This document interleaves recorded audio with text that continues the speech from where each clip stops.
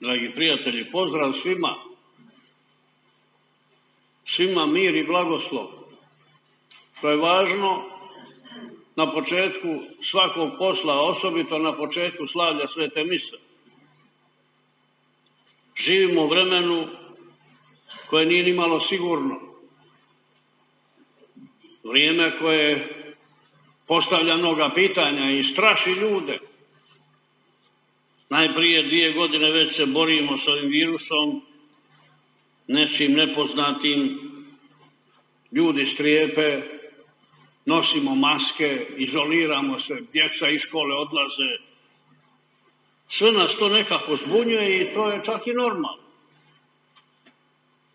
Zašto to sve dolazi? Zato što je nastao nered u čovjeku. U nama je strašan nered, a onda znači u cijelom svijetu. Mi moramo doći do reda, znate, među zvijezdama gore. Vlada red koji je Bog ustanovio i nikakvih sudara, nikakvih ratova, nikakvih pobuna ne. A ovdje na zemlji mi smo ljudi upetljali svoje prste i došlo je do velikog nereda i moralnog, i ljudskoga, i materijalnoga, svega nereda i sad mi kao vjernici prije mi se moramo urediti taj svoj duhovni svijet. Pripremiti se za ovaj red koji je u Isusu Kristu. Isus je vratio red. Čovjek se klanjao tarabi, volu, kravi, mjesecu, suncu i onda je došao reći čekajte ljudi. Ja sam spasitelj. Ako budete slušali zapovjedi i ako budete osobito onu 11. ljubi bližnjega kao sebe samoga, bit će vam lijepo, bit ćete dobri ljudi, bit će dobra obitelj, dobra djeca, neće se tući, ratovati, neće zveckati u Ukrajini da su ljudi dobri. Nisu. Šta će mi tolika zemlja ima Sibira, ne može ga porati, ne, još treba. Vidite, to je taj nered.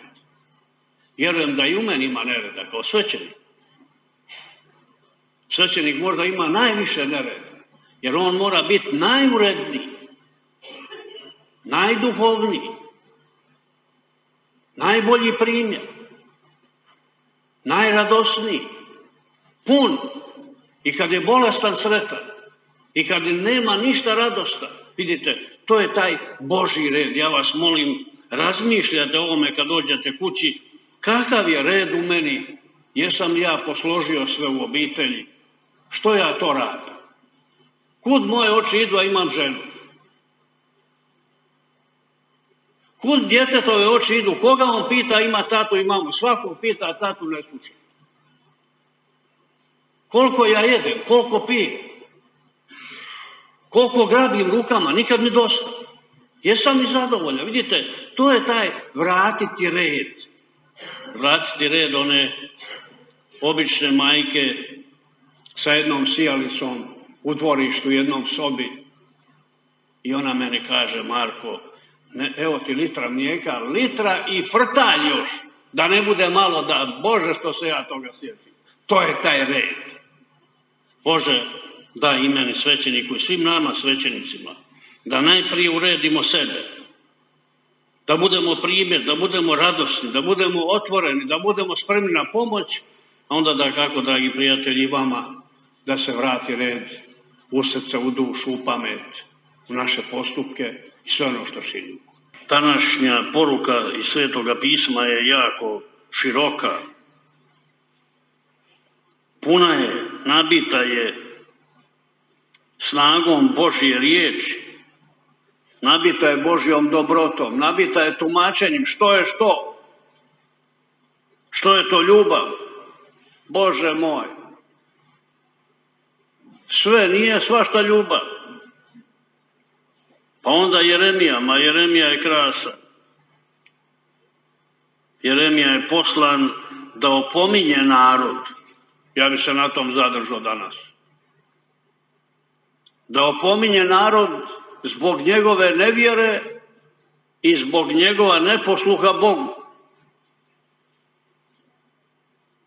Vidite ovdje kod Isusa Krista imamo kad on sluša te svoje ljude i gleda od negodovanja do divljenja. Hoće narod čudesa, e, čujete u nekoj crkvi, jo, idemo, trčimo tamo. Ne, pazite, ovo je vrlo važno znati, ne čudesa. Hoće da može lakše živjeti, ali da ne vjeruje, nego da ima zdravlje. Naši vjernici isto lete gdje su čudesa događaju, ali negdje se propovjeda Božja riječ koju treba živjeti, ma to je to. Živjeti moraš ti kršćanski. Ne treba se na mene ništa dogoditi. Živjeti, to je poslanje. To je Isusova poruka. Živjeti evanđelje. Pojesti evanđelje pa hodati, da bude hodajuće evanđelje. Vi znate od Jeremije, Isaije pa dalje kakva su to bila stradanja. I naša je crkva, kaže, naslijedila koja više voli čuda nego Božju riječ. Zato što ih nema prije ni kasnije ostaje prazna. Ostaje prazna crkva. Ide se tamo gdje ima neki stotine tisuća, ali ovdje nema 50. Jer nema čuda. Pa ovo je čudo, ovo je čudo, oltar je čudo, eukaristija je čudo, ja sam čudo, ti si. Svi smo mi Božje čudo, Božje izdanje. Bog se pobrinuo da nas stvori, da nam da to što imamo On, a mi ovo što nam je Bog dao smatramo ništa, nego što čovjek dadne, što firma dadne, što glazba dadne, što televizija, ne. Bog je sve dao ljudi moji, sve mora biti prožito Bogom i vjerujte, mi bi bili već Ma hodali mi zadovoljni, mirni, spokojni, ali svijet, đavao, sotona se umješao, e meni ćete slušati moju riječ, nažalost slušaju. Imate puno puta događaja. Bog viče Mojsiju, siđi dole, narod tvoj je pošao naopako. Zamislite vi, vodi Boži narod, brine se kroz pustinju mana, voda, udara štapom po stijene, evo vode kad ste žedni, evo mane s neba pada. I on je otišao Mojsije na brdo da dobije zapovjede, oni već napravili zlatnu tele, vidite vi. To isto kao da župa ostane bez svećenika mjesec dana, oni naprave sebi bika nekog tu i štuju ispred crkve. To je to ne izdržavaju jer nisu slušali Božju riječ, ne čudesa, ne mane, ne vode iz pećine, nego života gdje treba ga zagristi, križi, pokoru i muku i bolest, sve. To je, to je riječ Božja. Ona hrani u svim situacijama. Dakle, mi nismo još prihvatili tu riječ Božju hranu. Hranu koja sve ozdravlja. Nema ozdraviti pa da vjeruješ. I bolestan vjeruješ. I gladan je. Ne, čim sam gladan, evo di su oni lonci iz Egipta, odmah se oni bune. Dakle, ta pobuna je bila uvijek, pa ne vjerujem zašto je na nas ne bi bilo. Isus se bori za ljude, a mi ga ubismo, je li tako? Nismo htjeli, nema čudesa svaki dan. Recimo našim dana, Martin Luther King, Mahatma Gandhi, Stjepan Radić, Isus ne, čudi, ne čini čudesa da, da se ljudi zabavljaju. O, idemo tamo fino ispeći janje, pa ćemo mi gleda kako on je momak ozdravio. Nego da u njima probudi vjeru i pouzdanje. Vjeru, pouzdaj se. Onom čovjeku kaže, vjeruješ da možeš, ozdravit ćeš. Onom povjeruje. Ili Puno puta ste uvijek probudio je vjeru i malovjerni, zašto ste posumnjali? Uvijek traže, ne da čudo bude. Ne, čudo ne treba. Čudo Isus činio samo zato da pokaže svoje božanstvo. Ništa više. A nije bio cilj to. Da kako mi znamo da je čovjek krhak, da smo mi slabi ljudi, Prorok Ilija se umorio i kaže ne mogu više. Leže po žuku i poželje umrijeti. Vjerujte i nama svećenicima kad malo razgovaram iskreno, kad malo ljudski razgovaram, kad vidim. Ali mi moramo prvo svećenici sebe utvrditi u vjeru. Sebe. Ja moram vjerovati u Boga. Ja. Tada ćete i vi. Ja moram biti radostan. Kako god mi je. A vidite, nismo radosni. Draga braća svećenici, budimo radosni na vjestelj evanđelja. To je naše poslanje. Nemojmo ništa drugo raditi. Ti smo, mi smo specijalisti za navješanje evanđelja. Ali životom, riječju, umilinom, toplinom, ljubavlju, bliskošću, razumijevanjem za svakoga siromaha, za trudnicu, za profesora, za vojnika, za, za svakoga svećenike, melen rane, za rane čovjeka. To je mi. Jesmo li? Nismo. Zato prorok Jeremija opominje, e vidite. Nedavno sam pročito i možete i vi pročitati u glasu cijela bilo jednom broju, mislim predposljednjem, nešto krasno sam pročitao. A što me to obradovalo. Ovo vjerojatno nisam nikad pročitao ovako nešto da neko o nama Hrvatima tako nešto govori, zapravo opominje nas. Pa kaže, najprije nas opominje Gospa. Fatim. Ako ne budete se promijenili, ako ne budete molili čini pokoru, doće prvi svjetski rat, došao je. Doće drugi, vidite, zase zvetska, ozbiljno oružje. I sad gledajte, kasnije ću ono nastaviti. Sveti papa Ivan Pavlo II. Uvjeren je Slušajte, uvjeren je u to Fatimski ukazanja 25. ožujka 1984. posvećuje svijet i Rusiju bezgrešnom srcu Marinu. Posvećuje. Ovo je važno znati. Pred kipom Fatimske gospe i ubrzo se počeo pokazivati prvi znakovi raspada komunizma. Nakon te posvete. Sestra Lucija Fatimska iz Fatime izjavila je da, da je objavljeno kako, da je posveta, ova posveta spasila svijet od atomskog rata koji je trebao biti 1985. Eto ti. Pa evo, ajmo sad. To isto sad prijeti. Neće bez toga. Spasila nas gospa Fatimska od atomskog rata, znači od samo uništenja cijeloga svijeta. O gospo, hvala. Pa nismo možda to ni znali. A gospa opominje. Ako ne budete doći ovo, vidite, ali Ivan Pavao, Bože dragi. Uf.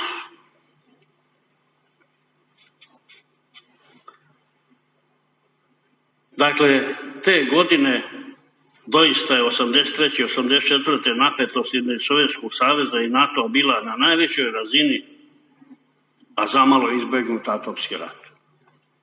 To je veliko papino pouzdanje u gospu. Pa sav gospin, kaže totus tus. Sve je stavio pred gospu, sve po njoj, ja vas molim, nemoj, molimo gospu. Molimo, teška je stanje. Sve i bolesti, i zdravlja, i rata, i mira, i svega. Molimo gospu, ona će zaustaviti.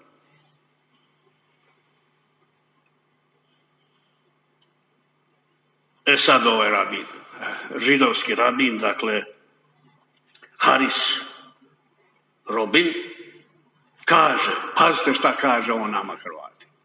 Pa vi ste to vidjeli svaki dan i ja i prigovarali sebi što nije drugačije, on kaže. U intervju glasu koncila. Žao mi je što nema više hrvatski ljudi koji dižu svoju zastavu u vrijeme hrvatskih državnih blagdana. O Bože, hvala. Njemu je žao. Nama nije. Desetljećima je šahovnica bila osporavana i naružena petokrakom. On kaže, ne mi. Trebali bismo biti ponosni što njome danas možemo mahati u svakom kvadratnom metru lijepe Hrvatske i trebali smo zaista, kaže, mahati. A kad mašemo? Nikad. To je to, vidiš. Opomena nekog drugog. Drugo, što sam opet naučio, čitam jednu knjigu o Šimuna Pereza, koji je tvorac Izraela, države Izrael, među tvorcima, Pa piše on svojim memoarima, krasno, pa ovo treba znati, da mi prepišemo ako ništa drugo. Na kolodvoru opraštaju se oni, kaže, taj njegov rođak, položio ruku na moje rame, pogledao me u oči i rekao mi, obećaj mi jedno, Perez Šimon. Rekao je strogim glasom, obećaj mi da ćeš zauvijek ostati židov, a Bože moj. Pa kad si ti židov, ti će se i boriti za taj svoj narod. Ti će stvarati tu državu i volit ćeš je nikad jer neće ni tvoji pravunusi i djeca. Ne. Vol, ostani uvijek židov, ostani uvijek Hrvat, katolik, ovi koji idu u Irsku, Njemačku, ostanite uvijek Hrvati, pa gdje god zaradite te pare, ali nemojte Boga izgubiti. Ma to je važno. Pa i židovi se raselili po cijelom, ali ostani uvijek židov. Kako je ovo fino rečeno. Kasnije će se on kao židov, vjeran židov, kao vjernik, boriti za državu Izrael. Vidite, on je sudjelo u stvaranju države na mnogo toga, na mnoge načine. I zato vidite, ta opomena, ta nam govori, hajmo nešto ljude, vidite, ove obične vanjske stvari ne smo napravili. A onda još jedan poziv, Papa Benedikt, ne ovaj, nego onaj još davno, kad je bio Sveti Franjo, u 16. stoljeću, zove njega Papa, kaže, Franjo, obnovi crkvu. Evo ti. Bila neka kapelica, ima tamo u Asizu, ako ste išli vidjeli malu kapelicu, on isto obnovio to, ali crkvu, crkva je nekakav trulež. Papa Ivan Pavao II kaže crkva je ko brod, pušta na sve strane, šuplja, nema više milosrđa, nema ljubavi. Svećenici nešto poremetili svoj stil života, prilagodili ga svijetu, nema više isposništva, nema više onog snažnog i propovjedanja i snažne vjere. Papa rekao, nije više dobro. I zato Benedik kaže, Franji, ova crkva je površna. Daj, a onda on šta je radio? Torbu na leđa i okolo postio, molio braća za njim. Kaže on jednom bratu svom, gladni, kiša pada, idu kod neke kuće, kucaju. Kaže Franjo, znaš šta bi sad bilo najbolje? Da nas ne prime, pazi ti, da još veća pokora bude. A ne da se odmori i kaže, brago, vidiš kako je on nas primio, nama je lijepo. Ne, da nas ne prime. Još da trpimo. E, to je taj Franjo. To je taj svećenik. Takav bi trebao biti svećenik danas, a nije. Ali nešto sam lijepo čuo od našeg biskupa jednoga. Vjerojatno i vi ste čuli, novo zaređeni biskup Dubrovački Roko Glasnović. Jedna gospođa u pozdravnom govoru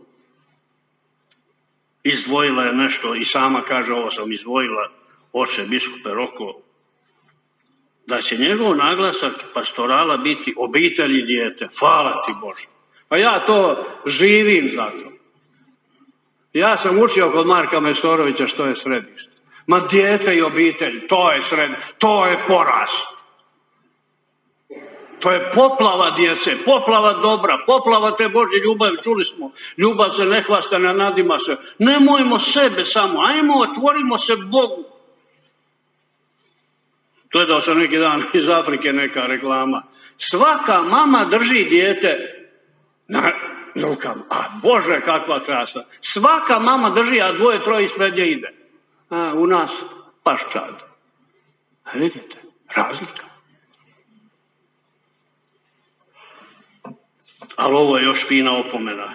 Znači, ovih dana sam na našoj stranici svećeničkoj konačno jednom nakon puno, puno godina vidio da spominju svećenici dvojicu svećenika, to je Dan Ante Baković, koji se brinuo i borio za natalitet hrvatskog naroda, a ovaj drugi doda i velečasni Marko Majstorović. Dugo nisam ta, nisu i vidjeli. Sad kad nas nestaje, uočavaju te ljude koji su stvarali, koji su davali ritam, koji su dinamizam u obitelju nosili, hrabrili i pomagali. To je opomena. To Jeremija govori. To je plod nevjere. Marko ima jedno vjenčanje. Dakle, onda se moglo, danas ne znam da li se može, negdje 60. godina, jedna djevojka je pobjegla od mladića bez prosjedbe i bez navještaja. Pazi, ništa više. Slušajte, imate vi unuke. Bila je kod njega mjesec dana.